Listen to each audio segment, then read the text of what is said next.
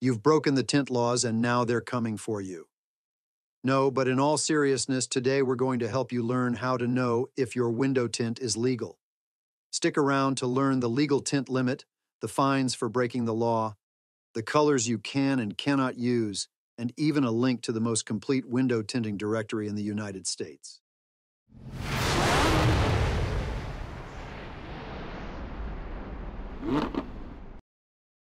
Washington's tinting laws, established in 2011, offer a detailed framework for vehicle window tinting, balancing safety and personal preferences.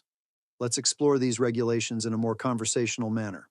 Firstly, if you're driving a sedan in Washington, you're allowed to tint the top six inches of your windshield. This rule is there to ensure you have clear visibility, which is crucial for safe driving. Moving on to the front side windows, the law is quite specific here. These windows must let in over 24% of light.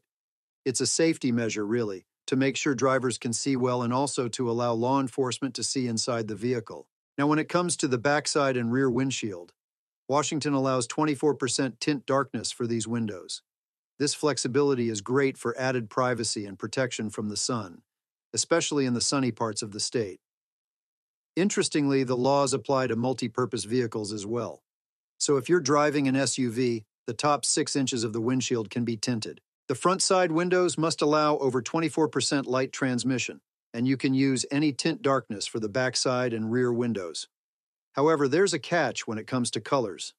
Tints in red, yellow, and amber are a no-go in Washington. The other colors are typically reserved for emergency and law enforcement vehicles, so it's important to steer clear of them. Now, if you don't follow these rules, you might end up with a fix-it ticket. The fines usually can be up to $125 for a first offense, but it's not just about the money. It's about adhering to regulations that ensure everyone's safety on the road. But here's something interesting.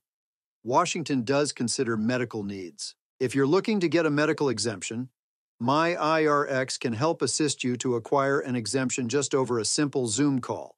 You can find them in a link down below. If you have a condition that requires darker tints, you can get a medical exemption. You'll need a letter from a licensed physician that explains why you need darker window tints. It's a thoughtful provision for those with specific health concerns. So, that's the rundown of Washington's legal tint limits, the color restrictions, and the potential penalties. It's a lot to keep in mind, but it's all about making sure that everyone on the road is safe. If you need more detailed information, don't hesitate to check out the link provided. It's always better to be fully informed, especially when it comes to legal matters like this.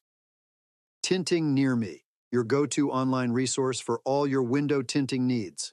Are you looking for professional window tinting services in your area? Look no further. Tinting Near Me has over 16,000 reliable tinting shops. You are sure to find one close to your area. Our website, tintingnearme.com, is designed to make your search for the perfect tinting service as easy as possible. Whether you're looking to tint your car, home, or office windows, our comprehensive directory has got you covered.